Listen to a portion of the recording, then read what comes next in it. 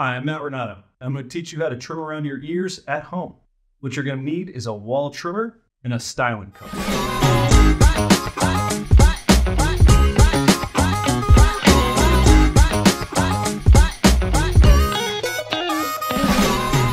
You're going to want to start off by combing your hair down over your ear to expose the hair that's ready to be trimmed. Make it easier to see what you're trimming, use one hand to bend your ear down.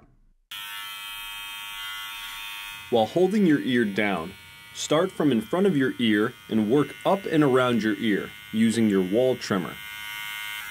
Because the hair over your ear is arched, it's best to use the corner of the Wahl trimmer to avoid any miscuts.